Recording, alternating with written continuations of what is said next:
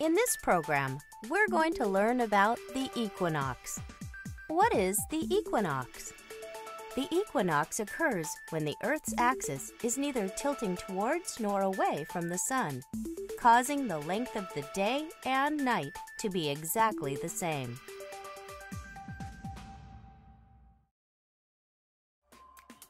Why does the length of daylight change throughout the year? It all depends on Earth's tilt and its journey around the Sun.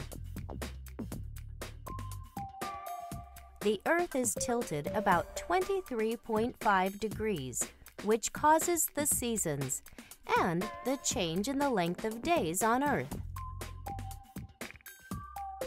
The day that the Earth's North Pole is tilted closest to the Sun is called the summer solstice.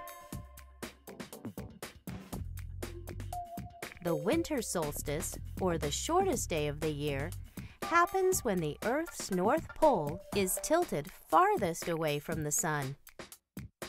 During Earth's journey from summer to winter solstice and back again, it passes a point where the Earth is not tilting towards or away from the Sun because of its position in orbit.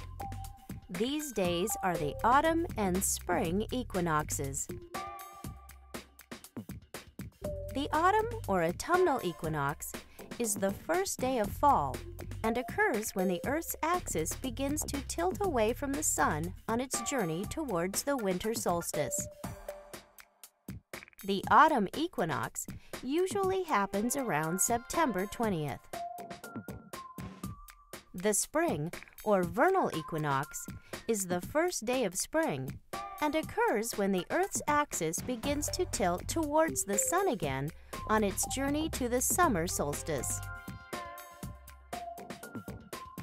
The spring equinox usually happens around March 20th.